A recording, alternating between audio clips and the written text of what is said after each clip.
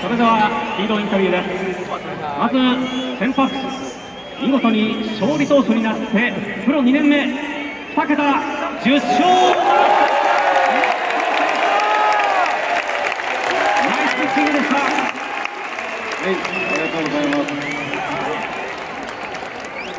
今日のピッチングを振り返ってください。7回無失点でした。えーまあ、初回は本当にどうなることかと思ったんですけど、えー、峰井さんと話し合って、峰井さんの見ただけ見て投げました。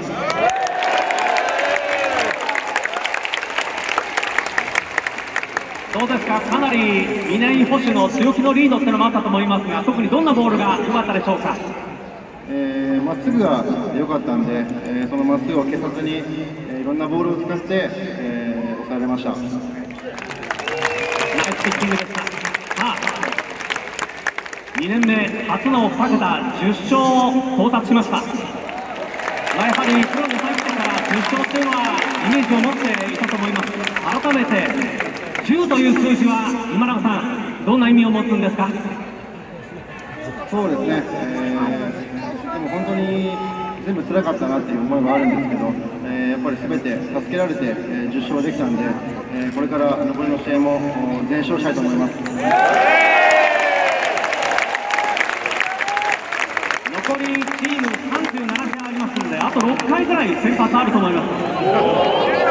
16勝ぐらいまでいってくれますね。そうと思います。では続きましてバッテリーを組んだ南井捕手に伺いますまずリードの方から伺います今日はどんなことを意識して守ったんですか？そうですね、もう本当に、まあ、初回、まあ、立ち上がり、思うように投げれてなかったんですけど、また、も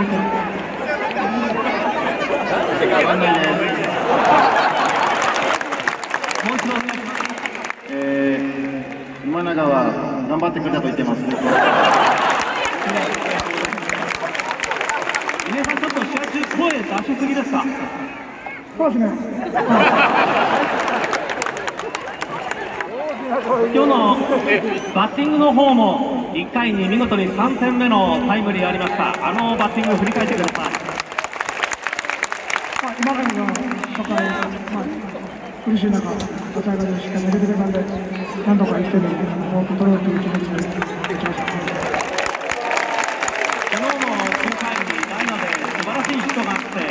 サヨナラのホームインでしたがこのところバッティングの状態とてもいいんじゃないですか。まあ、たまたま打ったところで、す。後半戦出番も本当に増えてきている印象もありますね。この後どんな活躍をまた見せてくれますか？まあ、いつ出るかわかんないですけど、出た時にはしっかり自分の仕事をして、チームにつなげていきたいと思います。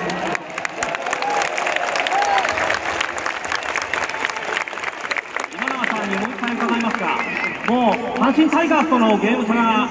どんどん縮まってないぐらいになってきてます。この辺り今後に向けてのチーム代表してお願いします。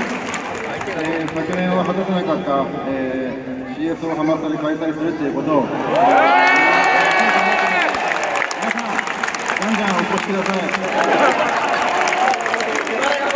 新さんからも一言最後にお願いしますこれから、まあ、チーム全員で、まあ、連勝するつもりで、まあ、一戦戦っていくんで、しっかり勝っていきたいと思います。ありがとうございました今日のヒーローインタビューはバッテリーの登場でした続いて、東京サンプレゼンツサンプレゼンター MVK 賞の贈呈です。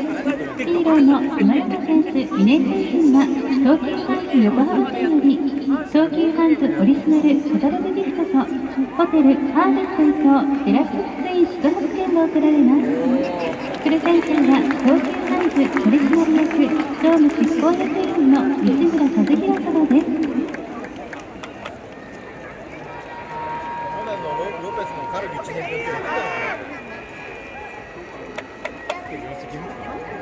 ありがとうございました。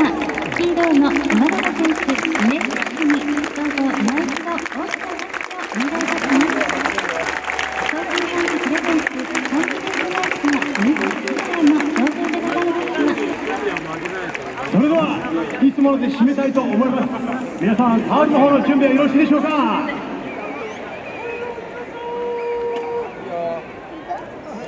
それではいきます。This is my era!